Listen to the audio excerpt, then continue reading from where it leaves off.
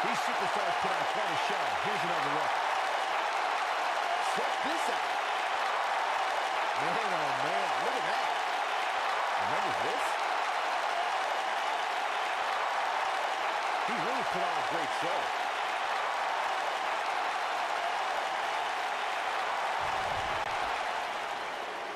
Here is your winner, Bullock